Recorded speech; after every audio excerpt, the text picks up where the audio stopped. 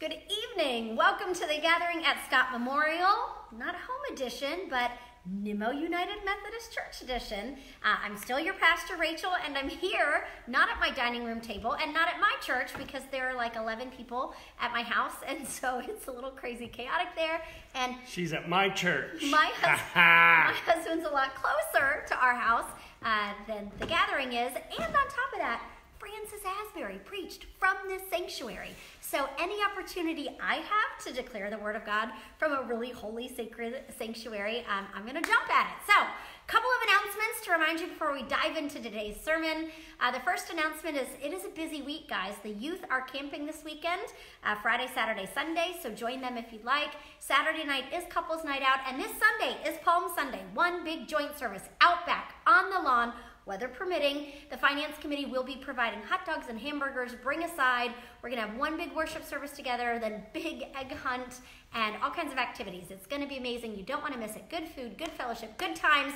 I will be there. So join us uh, for Palm Sunday and then Easter Sunday. Our services are at 6:30 sunrise service, and then our regular 9 and 10:15 a.m. service. All right. So. Uh, what brings me joy as a pastor is to be here at our final official sermon of our stewardship campaign. And we've been talking about how to find joy in enough, how to know that we are enough, that we have enough, that we're doing enough. And um, so today I want to talk about, I mean, Marie Kondo like inspired so many people in America to learn how to give things away, to realize they have enough and to let go of stuff. And what she does in her method, I really respect and appreciate. So she says, you know, start with your clothing. Take every item of clothing that you own and put it on your bed, and then hold each item individually and ask yourself, does this spark joy? Do not ask, did I get it on sale? Does it still fit? Is it still in style? Did Aunt Edna give it to me for Christmas? No, ask, does it bring me joy? And if it brings you joy, hold on to it. And if it doesn't bring you joy, let it go so it can bring someone else joy. Um, so it's this wonderful approach, and it made me wonder how much differently we would see our lives and our homes if we all, this week, Marie Kondoed our physical space and let go of things that didn't spark joy. Now, my husband might kill me because um, mops and vacuum cleaners and dirty dishes do not spark joy for me, but those are things I'm just going to have to deal with. Uh, but that this method is powerful, and as a pastor, I thought, how much richer and deeper our relationship with God would, be if we did the same thing when it came to our walk with God. If we realized that holding on to anger or bitterness or unforgiveness or resentment, that those things are not sparking joy, they're not bringing us closer to God. Um, so let's let Him go and let's embrace something that really will help us get to where we want to go on our journey with God. But then, how do we do that? And so, again, as a pastor, my mind is like firing on all cylinders, right? And I'm like, well, it would be literally like a never ending sermon to talk about why we find it impossible to hold on to the things that truly matter and let go of the baggage that's just weighing us down. And so I thought a simple way to do it, I don't know if you can see this, but I have a suitcase in front of me. And I contemplated the last time I truly Marie Kondoed the heck out of my life. And it was 15 years ago this month when my husband and I were preparing to leave uh, for the Peace Corps in Bulgaria. And so we were going to spend two years abroad. And we knew that Bulgaria had really, really hot summers, really, really cold winters. That I would be teaching kids somewhere from first to eighth grade. Brandon would be working at the high school. And so in these two suitcases, we had to fit like everything we would need for two years. And we had to let go of a lot of stuff. And so this is actually the carry on suitcase I took with me there. And it's been my carry on on every flight since. Um, but I want to talk about 10 things I intentionally did or did not bring, how they helped me find joy and enough in my own life, and hopefully they can inspire you. Okay, so the first item I want to talk about um, that I brought with me on the Peace Corps were these glasses. Okay, so I got glasses when I was a kid and was sick of being called Four Eyes. So as soon as I was in high school and my parents would let me get contacts, like I lived and breathed the contact lens life. But in the Peace Corps, I don't know if they didn't sell contact lenses in Bulgaria, if I couldn't afford them, if it wasn't safe to buy them, but they required me to get, I, I, think the Navy calls these birth control glasses. And they worked. Brandon and I had no children while we were in the Peace Corps. Uh, so, not the most attractive glasses ever, but I needed them to be able to see differently. And when we are embarking on a new journey, when we're learning to let go of things and find joy in enough, we need to see in a different way. We need a new set of glasses. We need a new vision because what the world is trying to sell us and tell us is important is not always what God sees. Uh, so, for example, I'm reminded of the story of the prophet Samuel, who God calls. He's like, listen, this whole Saul as king thing is not working out. I want you to go and anoint the next king. And so Samuel goes and he's there with David's family and all his brothers, and he sees Eliab and he's like, oh, this is a strong, strapping man. I'm sure this will be the next king of Israel. And in 1 Samuel 16 7, um, it says, But the Lord said to Samuel, Do not look on his appearance or on the height of his stature, because I have rejected him. For the Lord sees not as man sees. Man looks at the outward appearance, but the Lord looks on the heart. And so uh, we need to look and see things different, differently to be able to prioritize and realize what is really going to bring us joy in life, what we truly need on this crazy journey of faith.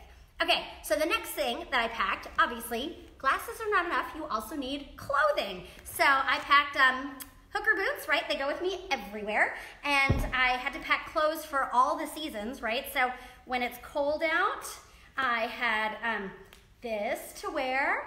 And when it was warm out, I had this to wear, right? So uh, I tried to pack a little bit of everything to get me through two years of four seasons.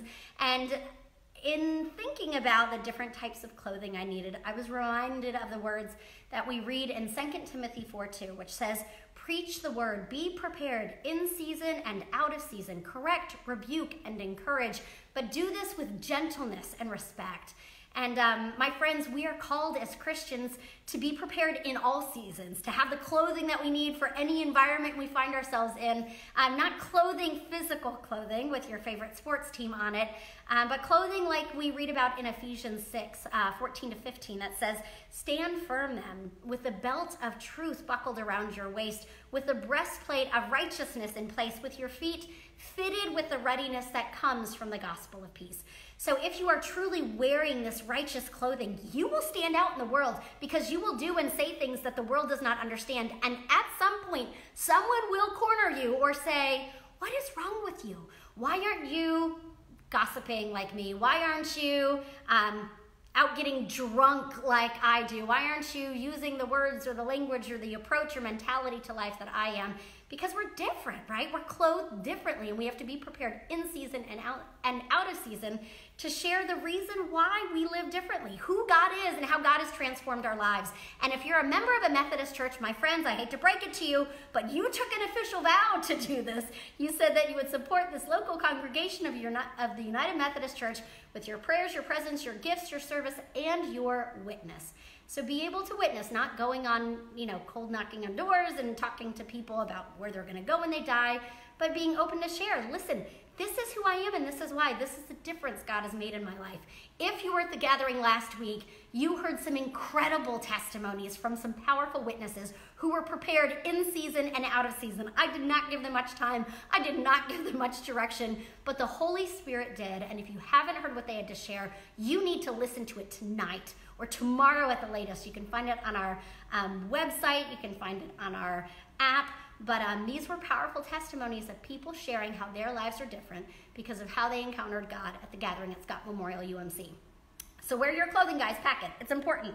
All right. Um, oh, I, the bells, the chimes are going off beautiful environment. Okay, the next thing that we have in our suitcase, um, I knew I'd be teaching, right? And little kids, so I brought foam letters, I brought flashcards. I wanted to have the tools of the trade. An education degree wasn't enough, right? I needed fun incentives to get them to listen and to learn with me. And um, I was reminded of the Gospel of Mark, chapter 6, verse 8, where Jesus is sending out his disciples for the first time.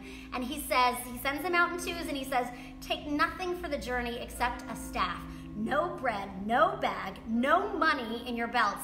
And uh, it was to teach them to trust in God. If God is calling you on this journey, God is going to provide for you. And while I had all these really fancy, flashy things to teach English, I ended up having like 500 students between first and eighth grade. These were not sufficient for everything that I had to teach and do in the classroom there. Everything I needed was here and it was here. If I had the passion and the heart for it, if I was trying to be creative and engage these kids and think through innovative ways to teach them, that was all I needed. And so often we look around us and we say, God, I can't do that. I don't have the resources. I'm not ready. I don't have the right tools. And God says, I am in your life. I will resource you. I will provide all you need. Just go on your journey and trust in me. So, wherever God is calling you to go, whatever God is calling you to do, you will be okay if you are obedient to the one who is equipping you, even as we speak.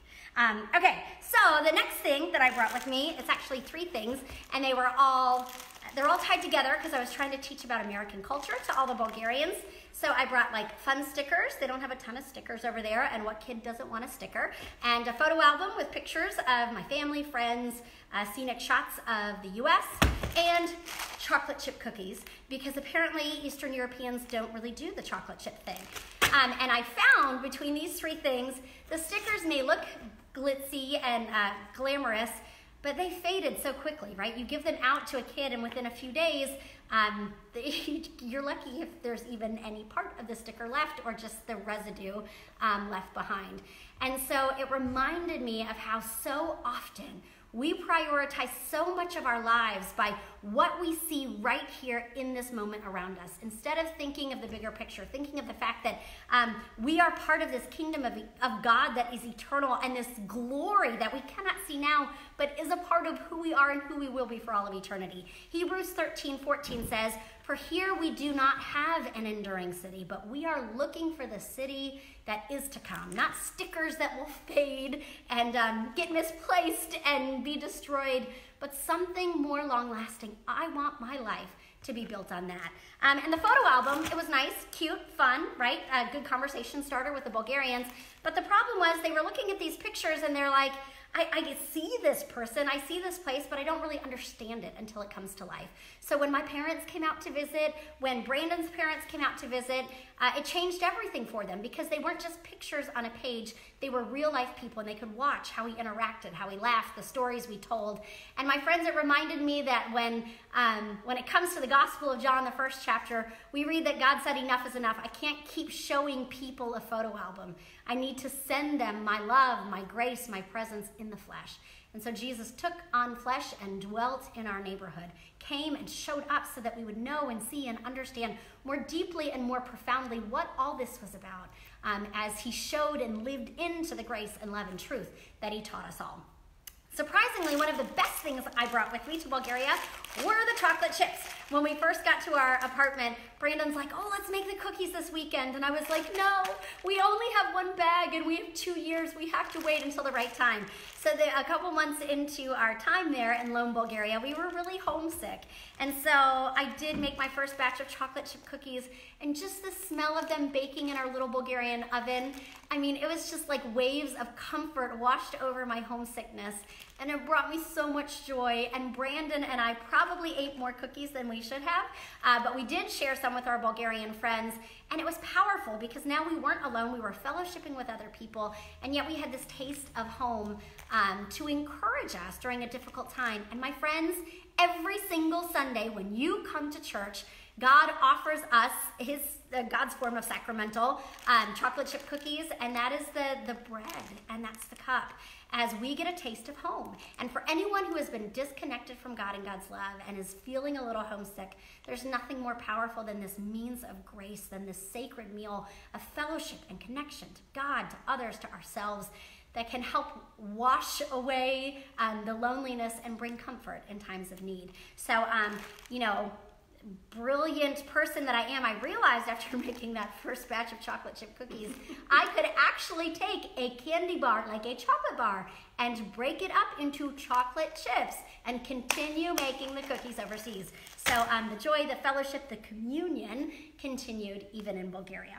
Okay, um, so the last uh, I want to talk about a few more things. I want to talk intentionally about something that Brandon and I did not bring with us, okay? Granted, it was 15 years ago, like the dark ages for some of you, but we did own laptops back then. We did have um, smartphones of sorts, and yet we brought absolutely no technology with us at all. No phones, no iWatches, no iPads, uh, no MacBooks, nothing. And so, ready, wait for it. Our apartment had no Wi Fi. We didn't have to pay for it because we didn't need it. And so we did this crazy thing where we talked to each other. I mean, we were newlyweds, and let me tell you, ladies, if you tend to be more talkative than your spouse, as I think I tend to be with Brandon. There was no better Amen. way, my husband's sitting here listening, no better way to strengthen our marriage than for me to be like, if my husband wanted to say anything or talk about anything, the only native English speaker in our town of 40,000 people was this one. So we had lots of conversations, um, lots of communication and connection. It was really important and Yay. powerful for us. He was excited. It strengthened our marriage. And it meant that when we did call home, uh, it was expensive, right? So we made every minute count. We said important things, things that cannot be tweeted in 140 characters.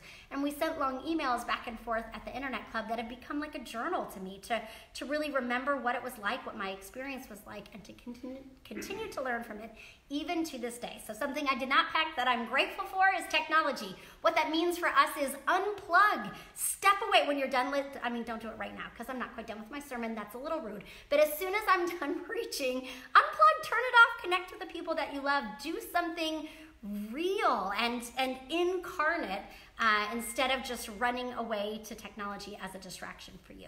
So intentionally, we did not bring that, bring, um, anything electronic with us. Now, the absolute worst thing that when I told Brandon I was going to be preaching this way, he said, You better talk about that electric blanket. And um, the electric blanket did not survive Bulgaria. So I have a big blanket here. It, I kid you not, the, the electric blanket took up like more than half of my suitcase. But I was absolutely committed to bring it with me because I heard that Bulgarian winters were cold and there, that there was no central heat. So in my mind, okay, like keep in mind that I made it through one year of Girl Scouts until I had to camp. And then the whole like dirt, bug, outdoor thing freaked me out. And I'm like, nope, can't do it. So Brandon's like, how exactly do you plan on surviving the Peace Corps if the Girl Scouts was too hardcore? But I was like, I can do it, Brandon. I have my electric blanket. So when it gets cold, I will not freeze in a Siberian winter.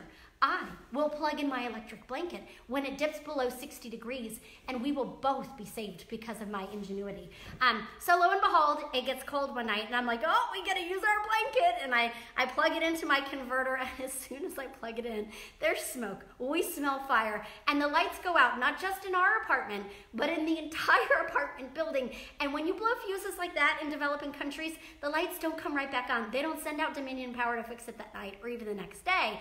And guess who our neighbors happened to be in Bulgaria? The vice mayor lived above us, and the judge of the town lived below us.